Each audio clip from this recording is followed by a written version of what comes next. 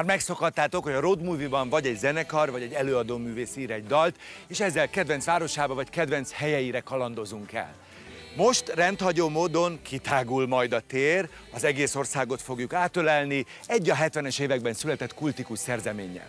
Az LGT Miénk itt a tér című dalában most generációk találkoznak, újra életre keltik a sorokat, ezzel megmutatva, hogy országunk csodálatos vidékeihez milyen érzések köthetők.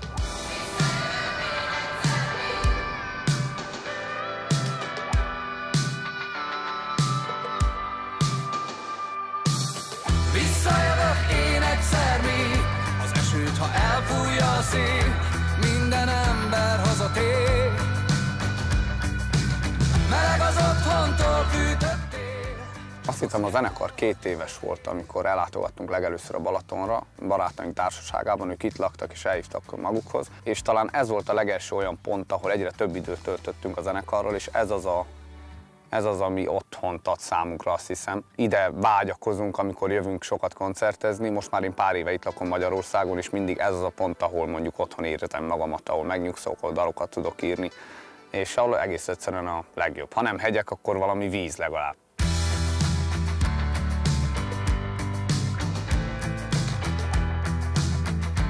Igazából ég és föld a különbség a hegyek és a balatoni táj között, de valahogy mind a kettőben pont a természetesség az, ami jelen van, és, és az az, amit mi keresünk. Tehát, hogyha tényleg nem télen a hóba snowboardozunk a hegyek között, vagy túrázunk, akkor, akkor itt kaptunk valami olyan pluszt, am- amit otthon nem tudnánk megkapni. Tehát ez a, nem tudom, a fröccsözés, meg a balatoni hekkezés, meg éjszaka fürdőzés egy nagy tóban, amikor az ember megteheti, mondjuk, mondjuk mert ide mi leköltözünk több időre, az egy olyan nézés, amire azt hiszem enélkül mi nem is tudnánk létezni. Tehát igazából ez kell a mindennapokhoz, ahhoz, hogy feltöltődjünk.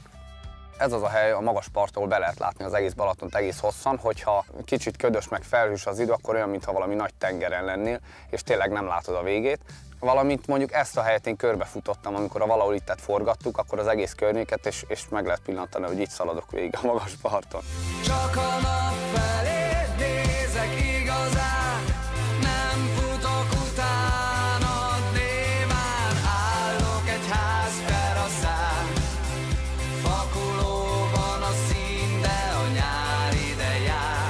Ez az én kedvenc kis eldugott strandom, azt kell tudni, hogy még nem is volt megalakulva a zenekar, és már akkor véletlenül ez volt a legeslegelső balatoni strand, ahova lekerültem a barátaimmal, és aztán később pár évre rá, véletlenül vagy nem véletlenül, ugye én az, abban nagyon nem hiszek, Öm, ide kerültünk a zenekarral, és itt béreltük ki az alkotók kis házunkat, ahol már több szezont is eltöltöttünk. Mindenkinek volt egy külön szobája, egy közös nappal, és együtt éltünk mindig igazából házas pár, csak öten, úgyhogy nagyon sok hónap fűz ez a strandhoz, és ilyen otthonérzést ad. Reggeleket, éjszakákat, nappalokat éltünk meg, itt tettem először marha pörköltet Nokeddivel és Kovászos újval.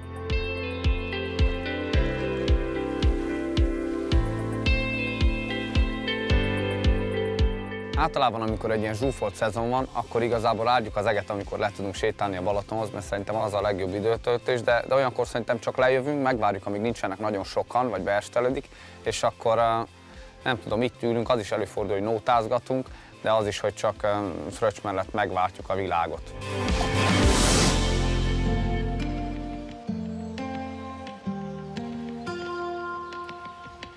Azt mondod, változtam, és egy darab múlt sincs a mostomban pedig.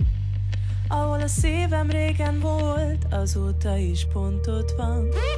Itt vagyunk Fonyodon a Fácános Palánkvárnál, és én itt nőttem fel, és a minden általános iskolás töri óra után a fiú barátaimmal ide jöttünk lejátszani a töri óra anyagát, igazából így lehetett a legkönnyebben megtanulni, és én uh, itt is lovagoltam talán először, mert szoktak lenni ilyen fonyódi napok kiskoromban, és akkor mindig ide jöttünk a tesóimmal kikapcsolódni, meg uh, én itt tanultam meg lógni, úgy igazából ilyen fa elemekről, tehát hogy ez, ezért így bennem, hogy mindig így fejjel lefelé lógtunk mindenhonnan, ahova még régen fel lehetett mászni, úgyhogy, úgyhogy nekem tényleg ez a, ez a gyerekkoromnak az egyik olyan tere, amire szívesen emlékszem vissza, meg nagyon-nagyon szeretem a mai napig. Házszám nincs sehol, itt minden az otthonom, a hullámok törik meg, ami szürke és monoton.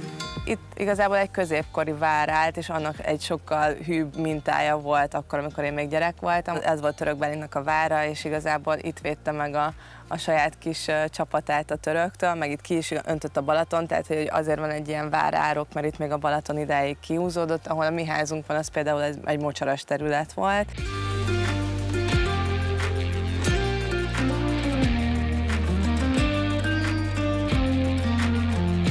Igazából abban reménykedem, hogy majd egyszer tudunk kicsinálni egy ilyen mini Margaret Island fesztivált, vagy akármint, mert, mert szerintem ezt a teret ezt ki lehetne sokkal jobban is használni. Sajnos nem teljesen úgy néz ki, mint az én gyerekkoromban, de, de nem reménytelen. Most ugye a karantén alatt, ameddig itt voltunk a fiúkkal, pont az egyik dalunkhoz a valahoz forgattunk egy akusztik videót, és akkor úgy gondoltuk, hogy tök ez a nagy tér, és akkor ide kijöttünk egy, egy telefonnal is felvettük, vagy a házszámnál is itt voltunk. Szóval sokszor használtuk már ezt a teret most is, csak inkább művészi megjelenítésben, nem pedig, nem pedig a, a régi valójában.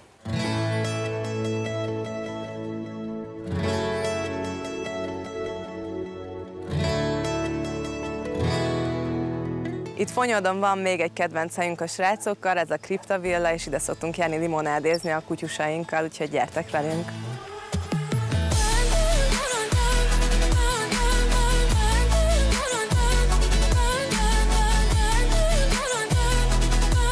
Azért szeretem ezt a helyet, mert meg kellett szeretnem ezt a helyet, hiszen kiskoromban nagyon-nagyon féltünk a kriptavillától, mert piros színe volt, kicsit romos volt, tudtuk, hogy bent egy szerelmes párnak van az emlékműve, ilyen szoborba kifaragva, és ez számunkra nagyon-nagyon ijesztő, hogy testvéreimmel meg a barátommal sose jöttünk ide. Utána lett belőle egy orvosi rendelő, akkor meg kicsit ilyen barátságosabb formát öltött, és amióta kávézó, azóta csak ide járunk szinte, hiszen kutyabarát is, vannak vegakaják, tök jó a kávé, úgy meg, meg gyönyörű a kilátás, úgyhogy én nagyon-nagyon megszerettem ezt a helyet, és, és szeretem idehozni a barátaimat. A legfeltűnőbb látványosság Fonyódon az, hogy innen látszik a legjobban a Badacsony, bal oldalt van ugye a Szigligeti vár, jobb oldalt van a Gulács, a Kis Badacsony, látod az egész Keszthelyi öbölt, ellátsz ugye a Balatonboglárig, meg a hátsó halastavakig, és itt mögöttünk is egy, egy elég jó nagy domb van erdővel, úgyhogy igazából én nagyon-nagyon szeretem ezt a helyet, mert, mert innen a legszebb kilátás számomra a déli partról. Miénk itt a tér 2021-es Road Movie változatában több mint 20 művész szerepel, és közülük nagyon sokan vállalkoztak arra, hogy megmutatják a saját terüket, ami egy olyan hely vagy olyan város, ami igazán közel áll hozzájuk. Komplett országrészek is szerepelnek többeknek a listáján, ilyen például a Balaton, de most például Beck Zoli, Járai Márk és Wunderlich József Pécsre fognak elkalauzolni minket.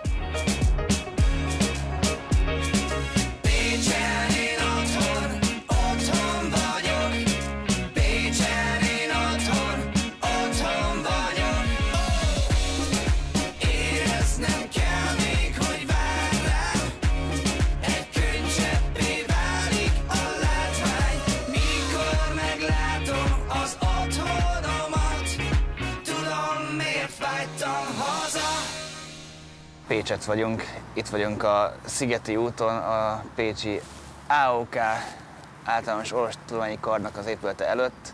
Itt van egy park, ami, ami az- életemben nagy szerepet töltött be, és, és én nagyon, nagyon fontos része az életemnek, hiszen amikor Győrből Pécsre költöztem, és elkezdtem az egyetemi éveimet, akkor itt rengeteget bandáztam, és uh, eszméletlen sok élményem fűtődik ehhez a helyhez. Gyakorlatilag az egyetemi éveim során, főleg az első években itt, itt pár háztömbben odébb volt az első albéletem, ahol a édesapám kirakott, feltöltötte a spice meg a, meg a hűtőt, de akkor járok innentől kezdve iskolába. Elment, és én pedig itt éreztem először a, az albéletben, és amikor ide az egyetemre, az, hogy, hogy így kinyílt a világ, és, és egy szabadságot jelentő érzés volt, hogy, hogy na innentől rám van bízva az életem, és, és orvos leszek, vagy nem leszek orvos. Hát mégis nem lettem orvos, de, de azért eltöltöttem egy hat évet e-, e-, ezen a sulim, kisebb-nagyobb buktatókkal. Nyilván való okok miatt nem fejeztem be, megindult a, a zenei életem és a, és a zenész karrierem. Az egyetemi év, évek során azért már ez így felfeltűnt, hogy azért másfele is tekingetek, és, és azért kicsit bohéma életmódot folytatott, mint az átlag, átlag orvostan hallgató. Itt egy csomószor volt, hogy kijöttem egy gitárral a parkba, mert otthon az albérletben nem tudtam gitározni, mert ugye a szomszédok meghallják, itt meg senki nem volt, és lejöttem csak egyszer gitárral, így hajnali kettőkor például, és így gitároztam magamnak, és így kimertem engedni a hangomat, meg mertem a húrokat pengetni. Anyám itt nézett rám, mikor megszülettem, nem az a típus vagyok, aki fogorvosként boldog tud lenni az életében. Én imádtam a ide járni, és szeretem, szeretem a szakmát is. Egy nagyon érdekes szakma, akár az bármilyen más orvosi terület, de a fogorvosi végkép.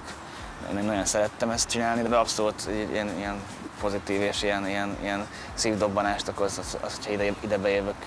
De most így, amiben én benne vagyok, ez most a legboldogabbá teszem, amit, amit is tehetnék. Ha múlnia kell én, akkor sem ereztem, hogy úgy tudlak szeretni, ahogy először szerettem. Ha múlnia kell én, akkor sem ereztem, hogy úgy tudlak szeretni, ahogy először szerettem. Most a Pécsi Bölcsészkarnak a D épületénél vagyunk, illetve annak is a harmadik emeletén, a romológia és nevelés szociológia tanszék emeletén tulajdonképpen. Itt voltam egyetemista 95-től, aztán 2002-től kezdtem itt tanársegédként tanítani. Azóta csináljuk itt a, a, a dolgainkat, ami gyakorlatilag leginkább abból áll, hogy reményeim szerint tudományt művelünk, vagy legalábbis megmerjük kérdőjelezni azokat a pozíciókat, ahonnan a világra egyébként rá lehet tekinteni. Kicsit olyan, mintha a város fölött lennénk. És közben viszonyba is a várossal. Egyébként meg itt prima jól lehet kávézni és meg teázni is a teraszon, és folytatni az órákat a szünetekbe. Önmagának a bölcsészkarnak az egyik csodája szerintem, persze a természettudományi karnak is, hiszen itt vagyunk együtt, az egyik csodája, hogy az arborétum közepén állnak az épületek.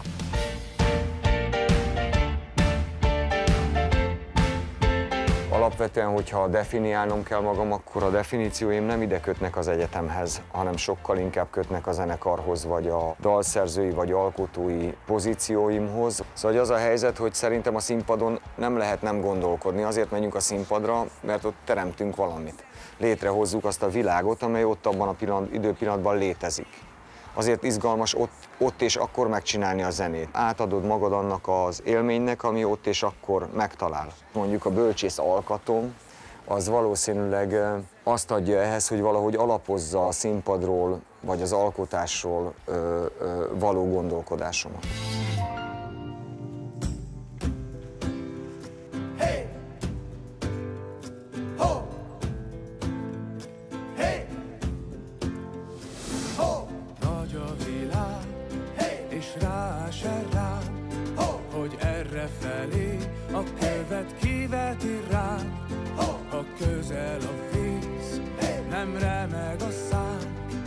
Itt születtem Pécset, 89-ben, és 14 éves koromig itt éltem, és azóta szeretnek engem itt a helyi darazsak. Ide jártam általános iskolába, egy, kb. egy 200 méterre van innen a Szentmór általános iskola. Ide jártam zeneiskolába, szintén pár száz méter, csak abba az irányba. Itt játszottam a színházban, 100 méterre van innen. Tag is voltam itt a Pécsi Nemzeti Színházban. Anyukám a mai napig itt él. Például az első komolyabb balesetem biciklivel az ott történt, azon a sarkon a Pécsi Galériánál. egy autós index nélkül kanyarodott, és rám húzta a kormányt. Én, amikor iskolából rohantam zeneiskolába, akkor itt rohantam keresztül, amikor ro- otthonról jöttem színházba vagy zeneiskolába, akkor is itt rohantam keresztül, hegedűvel, szolfés cuccal, kamara cuccal a táskámban. Úgyhogy hát itt ide, ide kötnek az első szerelmek, első rendezvúk, első nagy találkozások.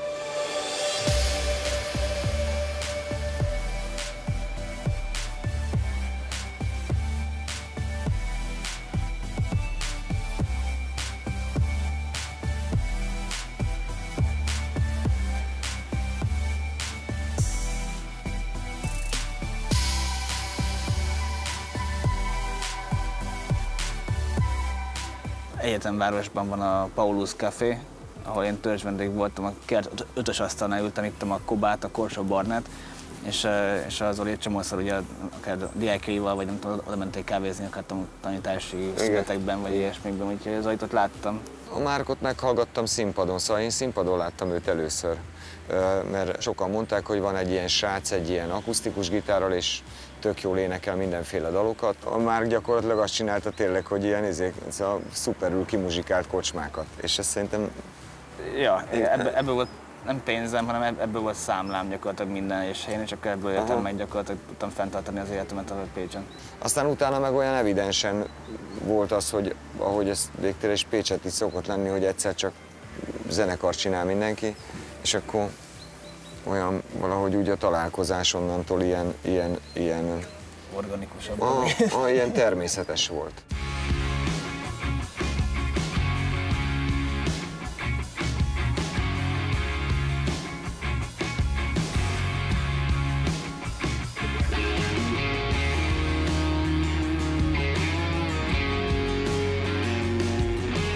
De itt a Barbakán kerten keresztül sétáltunk haza sokszor a suliból.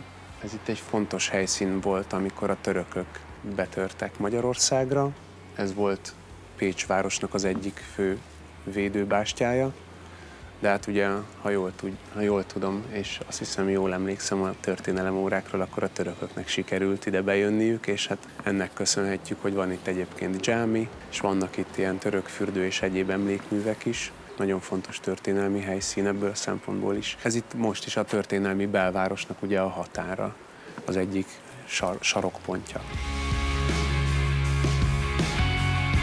Nagyon örülök, amikor látom, hogy a városnak az a szelleme, vagy szellemisége az megvan, ami gyerekkoromat idézi. Ugyanakkor van bennem egy furcsa, furcsa kettős érzet, hogy én, hogy én itt hagytam a szülővárosomat, a gyerekkorom, a családom, a szüleim, a testvéreim, az első barátok, az első szerelmek annyira, annyira ide kötnek, hogy mindig van bennem egy ilyen furcsa, kicsit szomorkás, nem tudom, lehet, hogy ezt úgy hívják, hogy nosztalgia.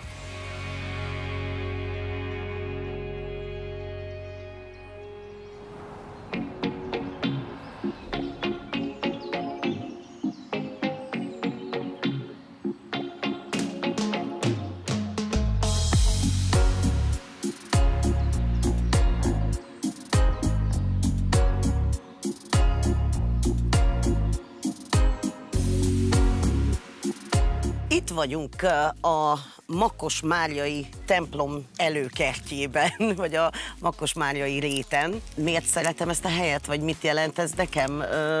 A közelség az otthonomhoz egy, egy csodálatos dolog. Én mikor ide költöztünk, akkor az volt az egyik szempont, hogy erdő mellett legyünk. Én na- nagy fa rajongó vagyok. Nagyon nyugtató nekem, mikor erdőbe lehetek, vagy fák közelébe. És ez a rét meg egy csodálatos pihenő, hogyha gyerekkel vagy kutyával van az ember, itt tök jól meg lehet ülni, és lenni.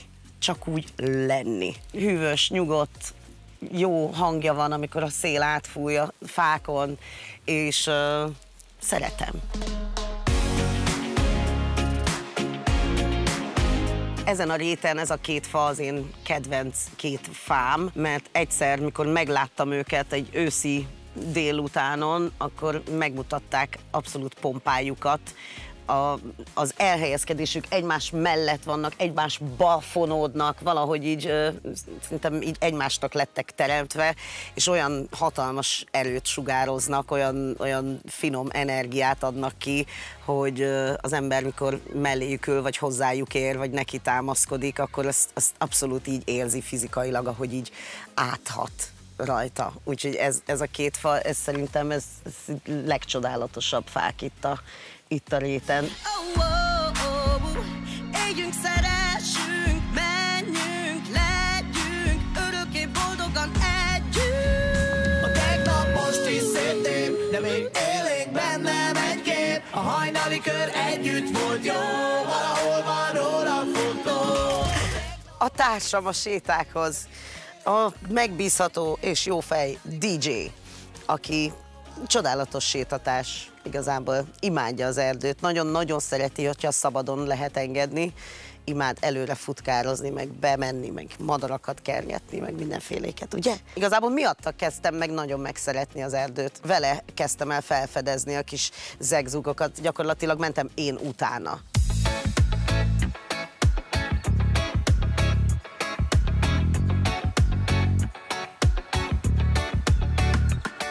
Kifejezetten nem is kerestem a nyüzsgős tereket, de éltem a, a káoszt, meg a hangot, meg a zajt, meg a, a, a nyüzsgő világot. Most is szeretem az energiáját, viszont uh, ahhoz, hogy én egyensúlyba legyek, rájöttem, hogy nagyon is kell, hogy, uh, hogy legyen tere az agyamnak lenyugodni. Te meg én álltunk együtt kézen fogva a hegy tetején. Miközben megyek, sétálok, így valahogy magától rendeződnek a gondolatok, valahogy így helyére kerül minden, és egy, egy jó összkép lesz, és utána könnyebb funkcionálni, mert valahogy megvan mindennek a helye.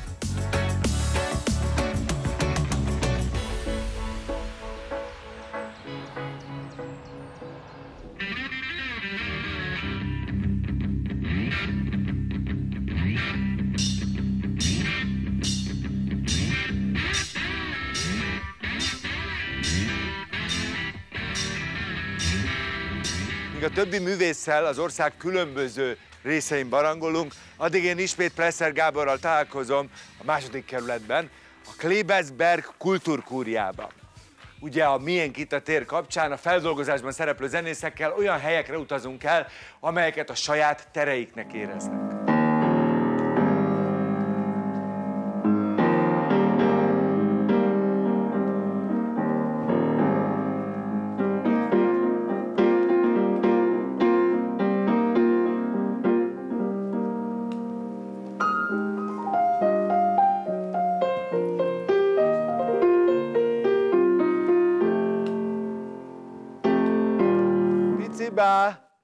Szia, megtaláltalak. Attila. Nem volt egyszerű? Vigyázz, lépcső. Látom. Na. Lerakhatom ide? Zongora mellé? Hát persze. Itt vagyok. Érdekes ez a helyszín, te hogyan kapcsolódsz ehhez a kúriához? Hát mi nagyon-nagyon sokat próbálunk itt, persze játszunk is. A próbák után mindig egy kis előadást is játszunk. Nagyon, nagyon sok produkció volt, amiben, amiben itt készültünk föl.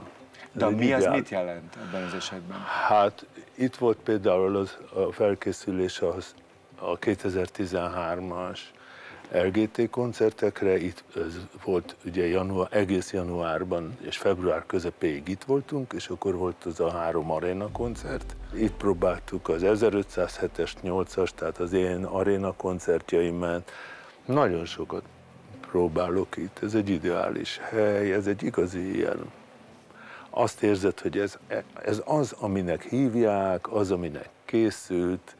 Itt mindent tudsz csinálni. Hiába mondjuk az LGT kapcsán olyan dalokat játszottatok, amit már 200-szor vagy 2000-szerre játszottatok. Meg kell tanulni, az új- mindig egy adott hogy új korszakunk van. Gyerekek, ezt most, már- most már így játszuk. Azért kell az LGT-vel, vagy kellett sajnos ilyen sokat próbálni, mert a dalokat mi szisztematikusan férceltük széjjel, tehát soha, soha nem játszottunk kétszer valamit ugyanúgy. Mély udvarodban csak A lépcső, melyen járunk, elkapott a kő. vannak zenekarok, akik mindent ugyanúgy játszanak, mint 30 éve, vagy 40 éve, vagy 50 éve. Mi mondhatom úgy is, hogy mi ebbe belepusztulnánk. Tehát mi már a lemez elkészültekor sem úgy játszottuk, mint a próbákon, és utána az élő koncerteken meg nem úgy játszottuk, mint a lemezen. Az ugyanaz a dal volt, csak meg kerestük magunknak mindig azt, hogy hogyan lehet ezeket a dolgokat szeretetből játszani, és nem azon a szinten, hogy attól vagyok boldog, hogy el tudok játszani valamit úgy, ahogy ezelőtt négy évvel el tudtam játszani. Most Budán vagyunk, ráadásul Budán egy ilyen kertvárosi részen, de te Pesti vagy, hát nagyon is Pest közepén nőttél fel, azt a Pesti énedet már elvesztetted? Nem, nem, nem. Én, én nagyon-nagyon szeretem azt a környéket, ahol felnőttem, lehet. Az a nagyon belváros, Úgy lehet nem? mondani. Nem, ez a hetedik kerület inkább a Klauzál tér, tehát nem belváros, de belső területnek számít. Akkor meg ott nem mozdultam el, mert 300 méterre volt a zeneakadémia, minden este ott ültünk és hallgattuk a koncerteket, és mondjuk 200 méterre volt a konzi, ahol meg eltöltöttem 6-7 évet legkevesebb. És neked otthon például nagyon-nagyon sok hangszered van? Tehát Igen. teljesen privát, saját Igen. tered, az tulajdonképpen majdnem olyan, mint egy stúdió? Hát annál sokkal zsúfoltabb, mert megvan nagyon sok olyan hangszerem, amiket a stúdióban már nem tartanak meg. Az egy ilyen magántér, a könyvespolcaim meg egyebek között ott vannak a felvevő dolgok, és hát ott van rengeteg hangszer, rengeteg mindenféle vicik, vacak, amit szerintem más egy csomó dolgot már kidobott volna, én meg csak úgy tudok megválni tőle, hogyha valakinek örömet okoz, hogy odaadom. Köszönjük szépen, hogy, hogy beszéltél nekünk erről a helyről, meg, meg bemutattad, mert nem, az ember nem mindig jár erre, de hát ennek pont ez a lényege ennek a, ennek a résznek. Ugye itt a, a, a, a, mi most még folytatjuk tovább a barangolást, először maradunk Budapesten, de aztán az észak és nyugat magyarországi helyeket is bemutatják nekünk az idegenvezetőké avanzsált zenészeink.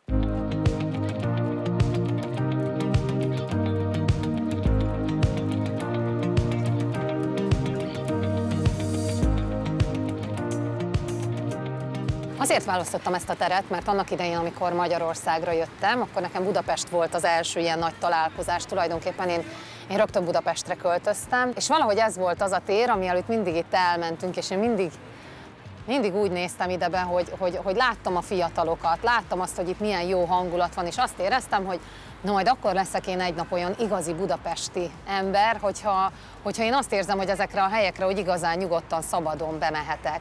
És aztán emlékszem arra az időszakra, amikor szépen lassan a barátokkal így elkezdtünk e, járogatni ide, és olyan jó volt itt így kiülni, hoztuk magunkkal a kis pokrócainkat, és eszegettünk, iszogattunk, aztán, aztán időről időre beültünk már egészen ugye itt a teraszokra, és és valahogy ez egy ilyen szép emlék maradt nekem, hogy ez az a hely, ami, ami mindig az ifjúság érzését adta, ami, ami azt adta, hogy, hogy olyan, olyan szabad vagyok, és valahogy voltak itt olyan, olyan délutánok, olyan, olyan esték, hétköznap, ami, ami nekem azt adta, hogy igen, én is, én is fiatal vagyok, én is élek, én is benne vagyok ebben a nyüzsgésben. Szóval ez, a, ez az igazi budapesti pörgés, nyüzsgés, és milyen lehet Budapesten fiatalnak lenni, az a fejemben valahogy vala, valami ilyesmi lehetett még annó ott Kishegyesen, mint, mint amit utána itt ezen a téren megtaláltam. Egyszer majd úgy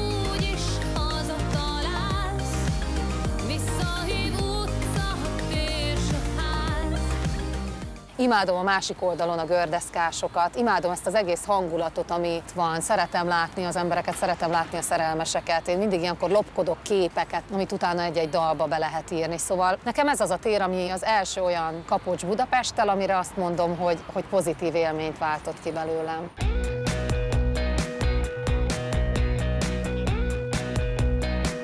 Én nagyon szeretem az óriás kereket, és, és természetesen az első között föl is ültünk rá, és nagyon élveztem. Most is nagyon szerettünk volna felmenni, de most egyéb okok miatt már nem annyira ajánlatos. Valahogy mindig azt érzem, hogy amikor ilyen helyeken azt látom, hogy a külföldiek úgy ott topzódnak, akkor úgy, úgy kihúzom magam, és olyan, olyan büszke vagyok, hogy kicsit úgy ilyenkor belegondolok abba, hogy én is, amikor külföldön vagyok, akkor, akkor szeretem megnézni ezeket az ilyen kis különlegességeket, és, és olyan jó, hogy nekünk is vannak ilyenjeink.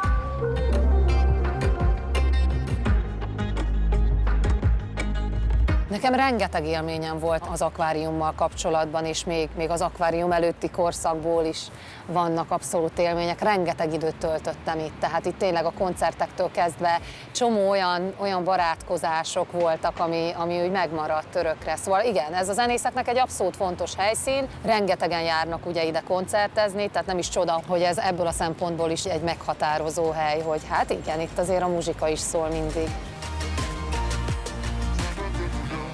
Török Ferenc nevét a legtöbben több kultfilm, mint például a Moszkva tér és a szezon rendezőjeként ismerik, ritkán szokott videoklippeket is rendezni. Most azonban a Road Movie projekttel kivételt tett, és elvállalta, hogy ő álmodja meg a képeket a Miénk itt a tér legújabb változatához. És most az ő saját terét fogja megmutatni nekünk.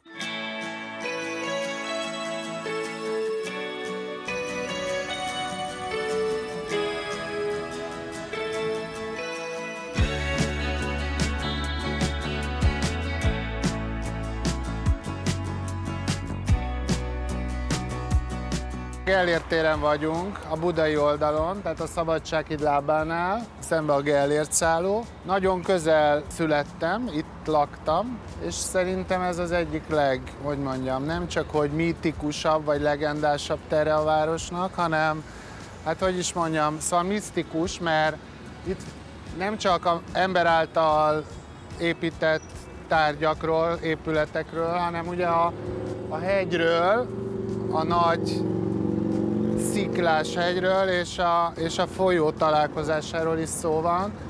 Tehát, hogy itt a legszűkebb a folyó, és ugye a, a föld alatti folyó, ami ugye a, a fürdőinket adja, tehát a Lukácstól, a Rudason át, a Gellértig, az is valahol itt bukkan ki, és itt vannak ilyen misztikus gyógyforrások. És eleve a hegy ugye barlangokkal teli, tehát mindenféle apácazárdák, meg víztározók vannak benne, és ugye lakatlan, és ugye kötődik hozzá a Gellért fürdő és a Gellért fürdőbe való bemászások, ugye, ami azért nem csak a környékbelieket vonzotta, hanem ez egy általános dolog volt. Tehát azért mindenképpen egy olyan térről van szó, ami nem egy általános tér, mint mondjuk a Móricz Zsigmond, vagy a Moszkva Szélkálmán tér.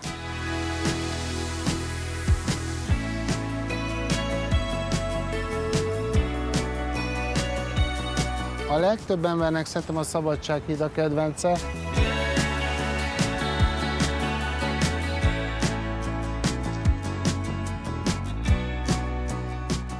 Az egyik legszebb budapesti helyszín. Hát ugye rengeteg filmben benne van, az amerikaiakban is mindig. Hát ugye nekem a Moszkva térben az egyik legfontosabb jelenet, amikor a srácok itt reggeliznek a Gellért fürdőzés után. Az meg leszőnyegpadlóztatjuk a Moszkva teret.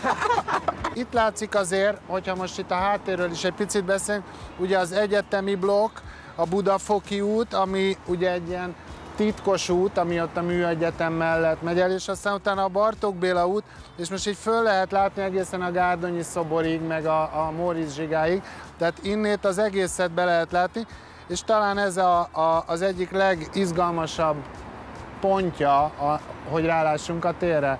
Egy kicsit, ugye a Duna közepén vagyunk már majdnem, tehát egy folyó fölött lebegünk.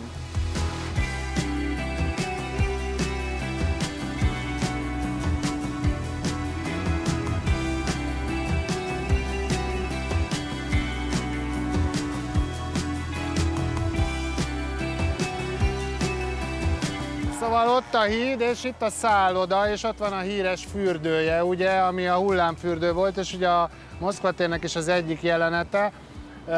Na most ez a bejárata már a hegynek, tehát innét már vége van a városnak, ezért is ilyen misztikus és különleges ez a helyszín. De még a folyót látjuk, ugye, és oda átlátunk a Corvinus és a Bálna környékére, tehát az is egy ilyen izgalmas átlátás a Gellértéről.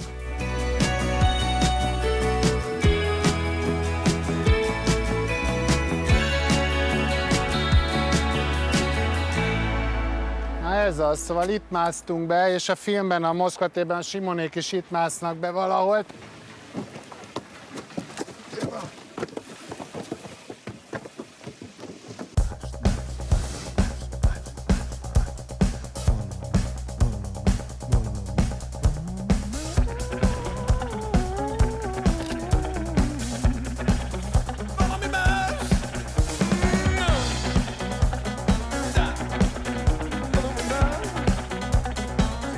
Életemben és az Ivanando Parazol életében is a Szél Kálmán tér, a valahai Moszkva tér egy nagyon fontos állomáspont, és szerintem a zenekar több tagja is, nem csak én a gyerekkorának egy részét itt töltötte. Ezt nem úgy értem, hogy az utcán, hanem itt utaztunk át, itt még utcazenéltünk is például a zenekarral, itt tettük a, legalábbis én a vízilabda edzések után a, a nagyon kecsapos hotdogot az egyik gombába, és gyakorlatilag az egész gimis időszakot, amikor a zenekar is alakult, akkor mindig voltak itt ilyen beülős helyek még akkor, itt a metró épülete mellett volt egy ilyen kiülős teraszos rész, és ott voltak mindig ilyen meetingek, meg ott beszéltük meg, hogy mi legyen. Úgyhogy nekem nagyon fontos volt, meg most is az ez a tér. Én még Moszkva térként emlékszem rá, úgyhogy megmondhatom, hogy ilyen nagy öreg vagyok.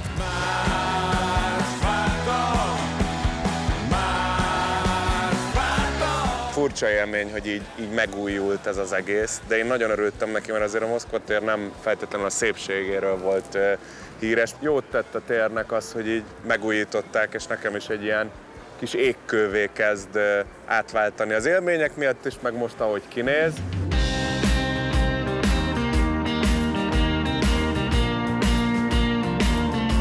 Visszasírjuk az órát. Én, ha jól tudom, éppen a Kis Celli Múzeumban van most az eredeti óra, ami alatt várakoztunk. Nekem már szinte ilyen furcsa dolog visszagondolni arra, hogy azért amikor én jártam gimibe meg általánosba, akkor mennyire fontos volt az a kimondott szó, vagy az a meg, megbeszélt időpont, ami most már persze olyan, hogy lehet, hogy messengeren írok neked 20 perccel előtt, hogy bocsi, hát kések. Innen indultunk mi is házi bulikba, meg hát ne felejtsük el ugye ezt a fontos kordokumentumot, és számomra is nagyon kedves filmet, amit a Török Feri rendezett, a Moszkva tér címűt, ami ugyanúgy nekünk egy, egy kultfilm volt. Én is akkor láttam, amikor a Moszkva téren még abban a formájában éltem az életemet, és akár találkoztunk egy-egy házi buli előtt.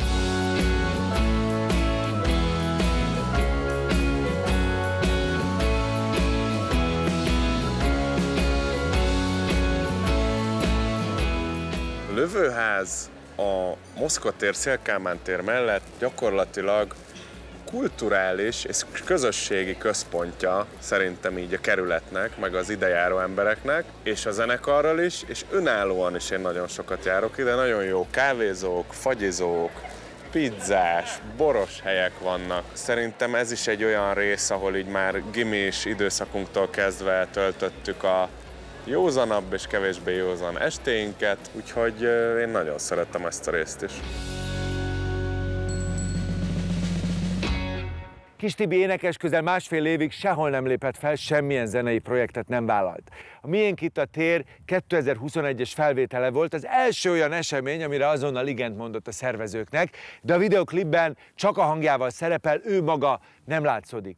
Épp ezért Pici bácsi nagyon meglepődött és nagyon boldog volt, amikor Tibi besétált a stúdióba. Most pedig egy különleges szeletét mutatja meg nekünk az életének.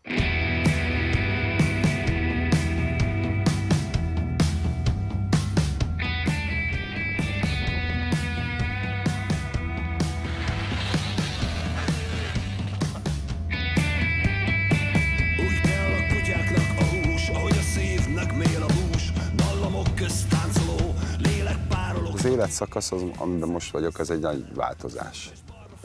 Az előtte lévő egy kicsit, hát ilyen, hogy mondjam finoman, ilyenben bezombult bele, nagyon munkába feledkező és, és sokat küzdő ember, az most így kijött a természetbe.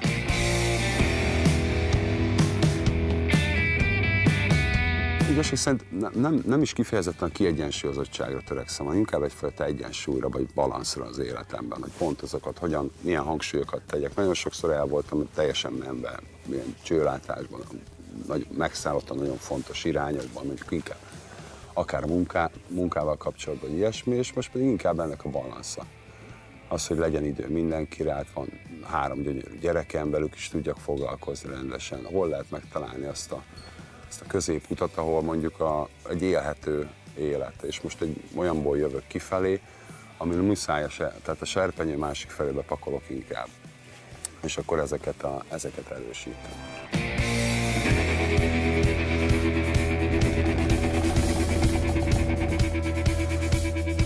Nagyon sokszor az az egyszerű inspiráció van, hogy megjegyzem egy napból például, hogy mikor éreztem magam jobban. Vagy ugyanakkor, hogyha mondjuk megteszem azokat a dolgokat, mondjuk akár annyi, fogom magam és semmi extra, csak felhúzom a cipőmet, és futok pár kört ott a környékemen mondjuk házkökkörúton, vagy- kicsit mozgok, utána észreveszem, hogy, hogy, hogy, hogy jobban vagyok. És akkor ezeket megjegyzem. Ez ismeretnek is a része egyébként, hogy amikor annak idején mondjuk még Szemlékszem, hogy egy ilyen nagyon ilyen, ilyen, ilyen sportos, energikus fiú voltam, aztán jött a rock and roll, aztán nagyon sok mindent abba lehetett sublimálni, a rock and roll, meg az is egy őrületes zuhany, de ugyanakkor egyáltalán nem maradt idő például a, a rekreációra sokszor az, hogy a szervezet is kicsit rendbe jöjjön. És most, hogy így, így, így változtattam az életemen, akkor a sport volt az egyik kapaszkodó. Azon kívül, hogy rengeteg más egyéb ilyen mentális segítség lehet, vagy lelki, meg, meg, meg, meg spirituális olvasmányok, de, de hogy tényleg ezek, ezek a közhelyek, hogy épp testben, épp lélek, meg ezek ugyanúgy vannak. És ez valahogy az önszeretetnek is egyfajta, egyfajta mód, egy más típusú, mint amit nagyon sokszor gyakoroltam. Voltam keleten, jártam nyugaton,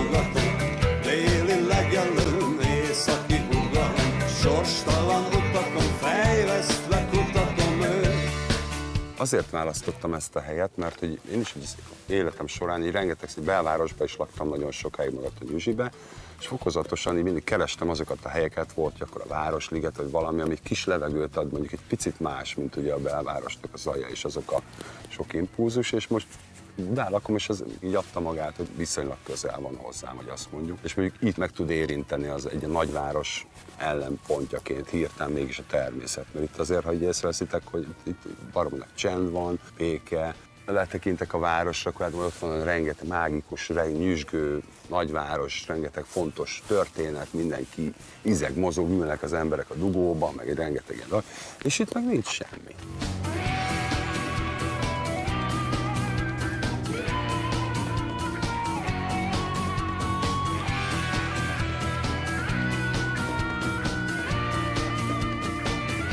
Aki ide följár, az tudja, hogy itt van egy-két ilyen klasszikus lehetősége, mondjuk a gasztronómiának, például a lángos és a rétes, az elmaradhatatlan, és akkor eh, ez, en- ennek, ezeknek az örömöknek itt lehet hódolni. Én is beszoktam kapni egyet-kettőt, hogy fönn vagyok. Sorstalan utakon, fejvesztve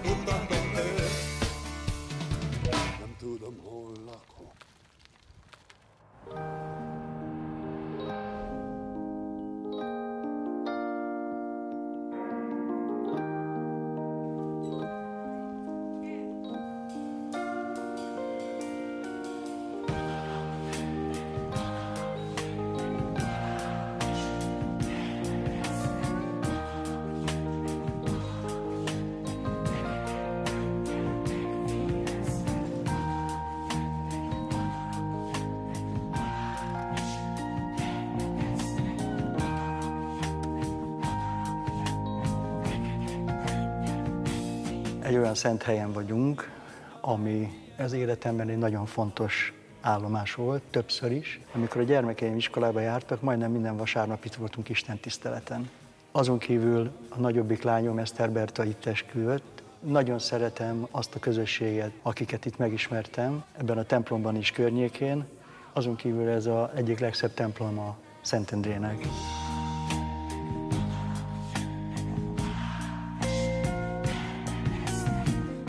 Hétköznapokban nagyon fontos az embernek, hogy amikor a mindennapi dolgát végzi, munkáját, akármit, akkor találjon magának egy olyan zugot, ahol eltöltheti nyugalomban és csendben esetleg a, azokat az időket, amik különben kárba vesznének. Én ezt a helyet például ezért látogattam, és fogom is. Felnőtt koromban jöttem ezekre a dolgokra rá, hogy az ember a külső és belső harmóniáját hogy tudja föl építeni, megtalálni, és ennek az egyik eszköze az, hogy az ember ellátogatta a Isten házában, akármilyen is az református, katolikus, unitárius és akármilyen más vallású. Én ezt vallom, ezt a hitet.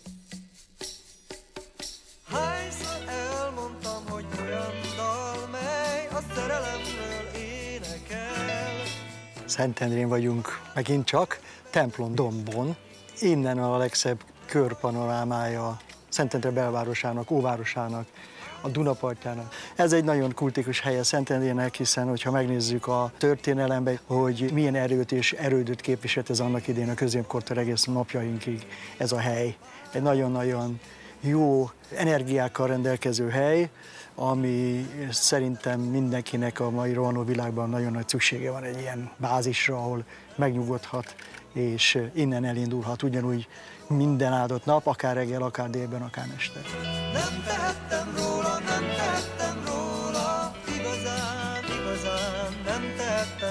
38 éve élünk Szentendrén a családommal. Már gyerekkoromban is nagyon sokat sétálgattam itt, és amikor tinédzser voltam, ide jártunk ki a kvázi alternatív zenekarok után, meghallgatni őket. Onnan kezdődik, onnan datálható az a kapcsolat, ami engem Szentendéhez fűz. Én azt gondolom, hogy az elmúlt négy évtized, amióta most már durván itt élek, ha nem is mindent, amit is idézőjelben mondom, a mindent tettem a városért, de nagyon sokat tettem, akklimatizáltam, szeretem, és már nem is fogom elhagyni soha.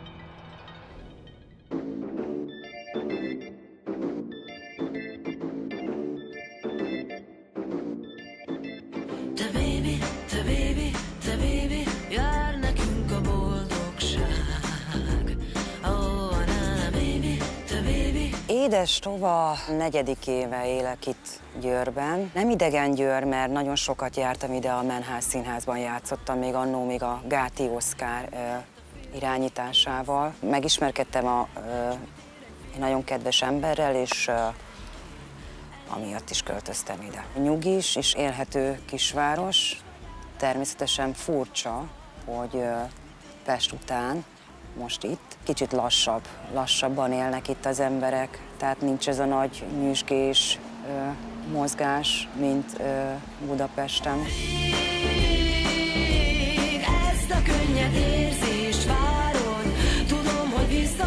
Nem vagyok az a típusú ember, aki, aki nap mint nap császkál a városban. Én egy nagyon magamnak való típusú ember vagyok, és uh, szeretem, hogyha maga csak a természet és a, a kutyám vesz körül.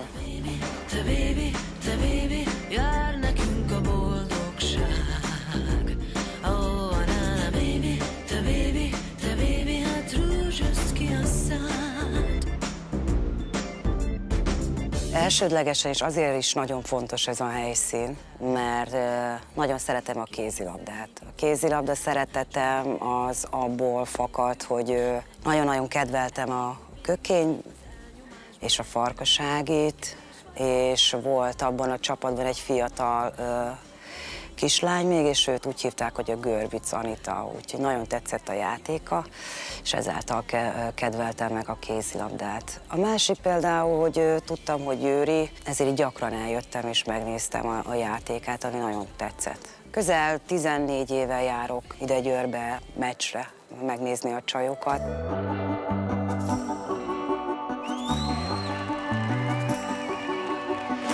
Egyszerűen csak szeretem a kézilabdát. A sportban ez az első olyan szerelmem, amit, amit, amit minden nap meg tudok nézni. Egyfajta élmény, ahogy ö, például abban a szekcióban vannak a szurkolók, és nagyon jó hangulatot tudnak ö, ö, teremteni. Itt a csarnokban, meg az a fajta szurkolás, ö, a győri szurkolók, tehát olyan tehát ugyanaz, hogy szinte beledöglenek a szurkolásba, csak hogy a csapatuk nyerjen.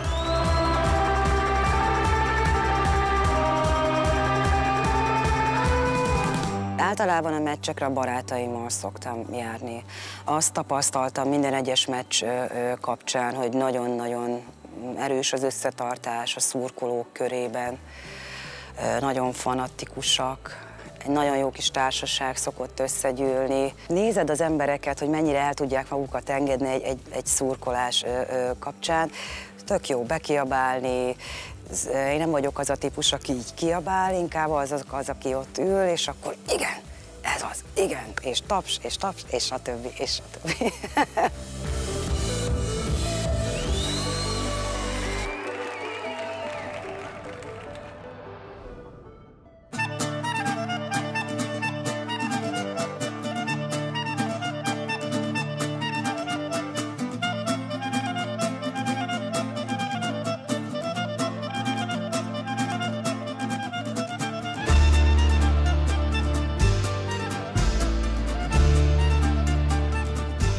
eredetileg gödölői voltam, és amikor a pályaválasztás előtt álltam, akkor gondoltam, hogy mit kéne csinálni. Annyi volt biztos, hogy zenével akarok foglalkozni. És volt nekem nagyon-nagyon kiváló két tanárom általános iskolában, és mindketten töri éneket végeztek, és itt Egerben. Úgyhogy arra gondoltam, hogy azt szerintem nekem is jó lesz, bármi történik, eljövök Egerbe főiskolára. Az egyik kollégiumban volt egy táncház, ahol életem először táncházban voltam, és láttam, hogy azzal a hangszerrel, amivel én klasszikus tegedülök, lehet máshogy is muzsikálni, lehet magyarul zenélni, tehát ennek a főiskolának nem csak a diplomámat köszönhetem, hanem az, hogy gyakorlatilag itt kezdtem el igazán népzenével foglalkozni. Keréködőd az kerékbe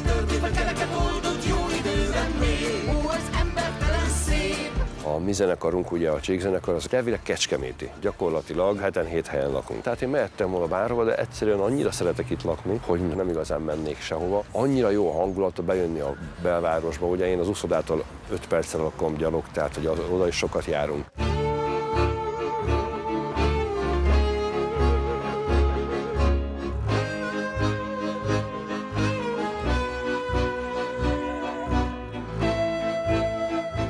Önmagában is egy nagyon gyönyörű dolog, az úszás meg nagyon jó élmény, de ebben az úszodában különleges szép. Tehát ez egy makovec úszoda, és belül olyan elképesztő tér van, és amikor hasonló idő van, mint most, hogy süt a nap, az úszoda két oldalán levő két szem alakú nyíláson, ahogy besüt a fény, az egy különleges élmény. Szóval nagyon-nagyon szeretek ott úszni. Van egy csomó dal, ami kifejezetten tudom, hogy úszás közben jöttek be az ötletek. Tehát ez van egy csomó olyan dolog. Ilyenkor az ember letisztul, kitisztul, elmennek a hülye gondolatok. Tehát nem csak sportolási funkció, hanem ilyen regenerációs funkciója is van az úszásnak. Sőt, még szöveget is írtam egyszer hátúszva, és borzasztóan, borzasztóan izgultam, hogy amire kiérek el, ne felejtsem.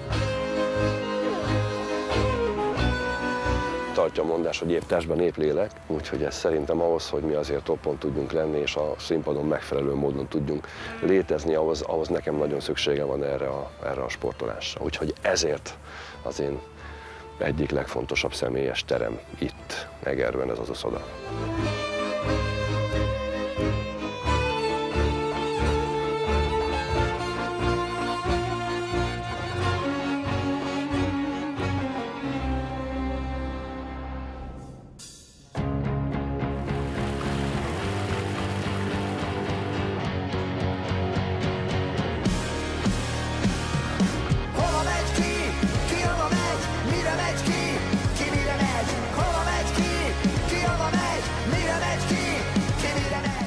Kalandosan indult az életem, ugyanis én Békés Csabai vagyok tulajdonképpen, de onnan 5 éves koromban elköltözött a család, ide költözött Nyíregyházára. Édesapám Nyíregyházi, tulajdonképpen édesanyám Békés Csabai, és akkor itt kezdődött el nekem tulajdonképpen az életem, itt, itt nőttem föl, itt alakultam ki, itt kaptam az első kibehatásokat, és hát itt állunk, ez itt a Bencúr tér, tulajdonképpen Ny- Nyíregyháza kellős, kellős közepén egy csodálatos park. Hallod a tapsot?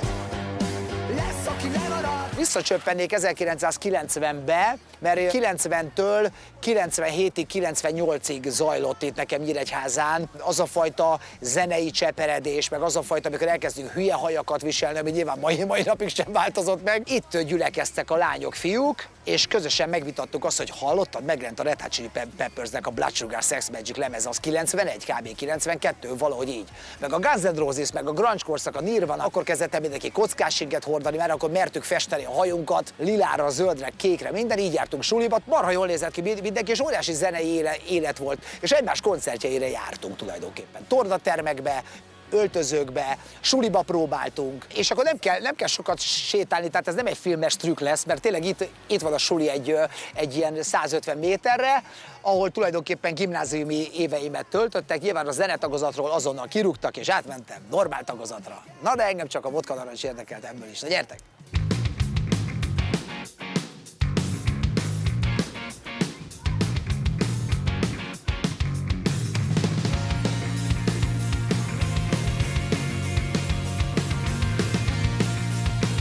Hát megérkeztünk a gimnáziumhoz, itt kb. most számolok, hogy 30 évvel ezelőtt voltam itt utol, utoljára. úgyhogy ez a szép kék épület itt mögöttem a Vasvári Pál gimnázium, és uh, igazából itt, uh, itt, itt azért elég erősen benne voltunk a, a lecsóban. Tehát itt, itt már konkrétan zenekar volt, meg minden. Nyilván amikor elsős voltam, akkor én próbáltam felfogni, hogy tulajdonképpen zenetagozattal mentem tovább. Onnan nyilván engem eltanácsoltak rögtön, mert a szófés az valahogy soha nem bele a fejembe, de nem is ez érde, érdekelt tulajdonképpen, mert mi, a, mi az éjszakában tanultuk a zenét, tehát a klasszikus zene sokat hozzátesz az ember ö, ö, képzettségéhez, ö, választott hangszer, zongorázás, stb. stb., ami mai napig így, így kamatozik tulajdonképpen, de hát itt azért már nagyon hülyék voltunk. Van még egy-két jó helyszín, egy-két gyöny, gyönyörű hely, Nyíregyháza mellett van Sóstó, egybe épült a várossal, oda is köt egy-két remek történet, úgyhogy úgy, azt még szeretném meg, megmutatni és elmesélni. Ja!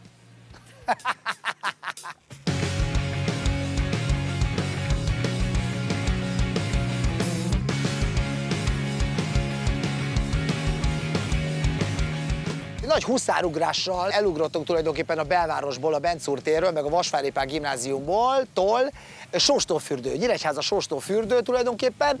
Hát így ö, egy perces néma csönd, filmes egy perc volt, mert hogy igazából ez ilyen, ez egy ilyen megigéz ez a, ez a táj, és gyermekkorom rengeteg emléke jut eszembe, mert ez itt nem fürdőtó, de mi, mi azért itt is fürödtünk nyilván. Nekem itt csodálatos gyermekkorom volt.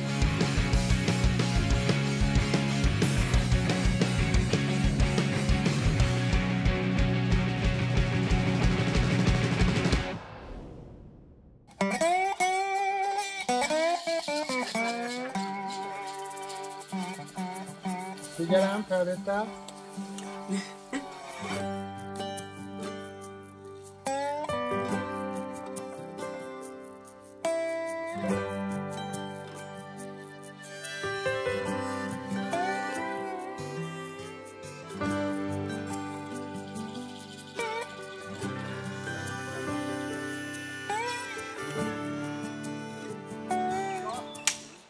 Milyen kitatér? Ez egy jó régi dal. Ti hogy emlékeztek erre? Milyen volt akkor mondjuk a 70-es években játszani, hogy milyen, milyen érzéseket szabadít fel bennetek, hogy most itt több előadóval együtt játszátok el? Hát ez már olyan sokadik verziója a dalnak, hogy, hogy magam részéről nincsenek érzéseim. Ez a legjobb. Csak úgy, jön. Mindig, mindig jó. Mellesleg Mindig tényleg. jó egyébként. Tényleg így van, mellesleg így van. Tényleg annyi variáció volt már csak az LGT időszakban is. És ez a mostani feldolgozás, vagy ez a mostani megjelenése a dalnak, a sok-sok előadóval, két kezemben nem tudom megszámolni egy hanyadik, de szerintem ha, ha jól van hozzá, ha jó hozzáállás van, akkor jól tud sikerülni mindegyik. Különösen úgy, hogyha ilyen szép színes lesz a dolog, hogy ennyi előadóval. Itt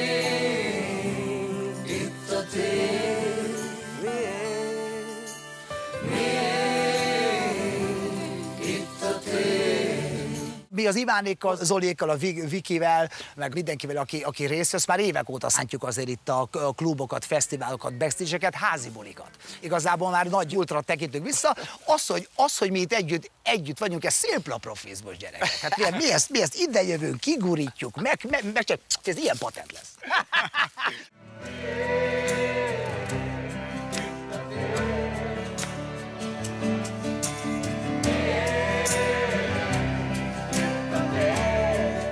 Az ember átgondolja, nem, amikor kap egy ilyen felkészülést, hogy akar ehhez a társasághoz tartozni? Viszonylag kevés, ö, ö, ö, nagyszerű zeneszerző előadó van ebben a magyar pop történetben, vagy beat történetben, akihez kapcsolódóan van egy feltétel nélküliséged. És a Pici bácsi ilyen. Szóval, a Pici bácsi azt mondja, hogy gyere, akkor te azt mondod, hogy mész. Utána elgondolkodsz persze, hogy meg tudod-e csinálni, hogy jó leszel-e, hogy te vagy-e rá az alkalmas, szóval benned van ez a feszültség. Én bennem nem jelent meg ehhez kapcsolódóan feltétel. Behívtak, menni Be-. Igen, de ilyen egyszerű Behívtak, volt. Szóval- anya, megyek. Szóval ennyi, ennyi. Hát, hogy, hogy akkor, akkor, akkor hát küldjétek az időpontot, azt ott vagyunk. Nekünk kevés fény, jut árnyékból van tő. A sötét szobákban a pokrosz hálót köt. Annyiszor hallottuk ezt a dalt, meg annyi értelme volt, hogy nem biztos, hogy azért vagyunk itt, mert hogy ez, ez erről a dalról van szó, hanem azért, hogy találkozhattunk Presser Gáborral. Tehát hogy nekem én bevallom, hogy én, én amikor meghallottam, hogy ő vele lehet találkozni, én a stúdióban de remegett kezem lábam, amikor énekelnem kellett, meg hoztam neki pár könyvet így aláírni, ilyen nagyon fangör volt, hogy majdnem elsírtam magam, szóval én inkább ezért, ezért vagyok most itt, mert ő itt van. Szerintem amúgy hasonlít az enyém picit rá, tehát amikor, amikor, um, nem lehetett amikor igen, tehát amikor amikor, amikor megkerestek ebbe a projektbe, és, és Pici bácsi neve felmerült, akkor igen. Felrendek. Júj, hát ez olyan gesztusom. Olyan volt, mint egy jó edzésen, a túl lennék. hát ez zseniális. Most valahogy nem is biztos, hogy ki kell emelni teret, mert mindenkinek valószínűleg egy picit más, de inkább ez, ez az össznépi dolog, ami, ami, amikor mindenki tud a lelkéből énekelni valamilyen dolgot, mint milyen itt ez a tér, és, és őszintén az egy nagyon vagány és erőt adó. A mély udvarokban csak eszed van ő. Ez egy 73-as szerzemény, arról az érzésről szólt, hogy néha átmentünk Budára, és akkor megnéztük, hogy milyen szép az a Buda. Aztán visszamentünk, és ott voltak ezek a gangos házak, és hát szóval tulajdonképpen én azt gondoltam, hogy ez egy ilyen egyszerű dal lett, aztán kiemelték belőle, hogy miénk itt a tér. Ez a dalokban nagyon érdekes, hogy van a daloknak egyfajta olyan saját élete, amit, amit nem a, a szerző szült. Csavarogtunk mi már sok-sok délután Ápolt kerteken, hol elfeküdt a nyár Neked milyen emléked van már? Én szerintem sokan kezdték úgy, hogy hallgattak EGT-t otthonról, hogy a mi generációnk otthon hallotta, és, és én csak a zenét ismertem először, aztán utána pe- pedig a képek, hogy a Pici bácsi ugyanilyen overallban egyébként valahogyan meg, megjelenik. Ez az első ilyen, ilyen emlékem róla, hogy kurva jó zene, és uh, aztán sose fogom ezt hasonlóképpen ezt művelni, mint hogy ők csinálják, és ez ilyen legendás ö, az én szememben a dolog, és ö, hát most ez történik, hogy itt vagyunk, itt vagyunk együtt. És ez mit jelent nektek? Ezt a dalt énekelni, ez milyen érzéseket szabadít fel bennetek? Tudod, mi a durva, hogy most az előbb, hogy itt így összeálltunk, és elkezdtük énekelni, és így mindannyian körülálltuk az zongorát, én tényleg azt éreztem, hogy ez egy olyan pillanat, amire mindig emlékezni fogok, és ami egy nagyon komoly érték. Itt azért olyan énekesek, olyan zenészek jöttek össze, hogy, hogy egyszerűen ezt hogy tényleg elraktározza magába az ember, nem? Tehát most, most úgy érzem, hogy egy kicsit ilyen Woodstock hangulatom van, meg ilyen úristen, de jó, igazi örömzenélés, valami, ami maradandó, itt most valami olyan dolog történt.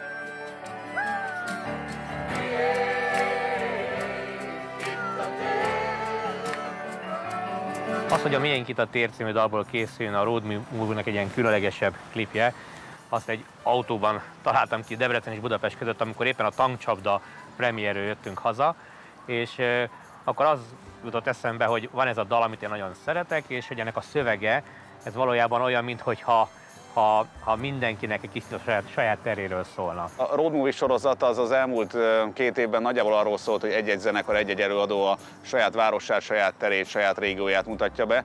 Olyan szempontból ez mindenképpen egy ö, különleges alkotás, hogy ö, ebben nagyon sokan megszámoltunk, majdnem 20 szerepelnek, olyanok, akik ö, természetesen Magyarországhoz, a magyar könnyűzenéhez kötődnek, illetve hát biztosak voltunk benne, hogy mindenkinek van olyan kötődése is, ami egyfajta magyar táj, egy magyar város, egy magyar régió vagy bármi hasonló.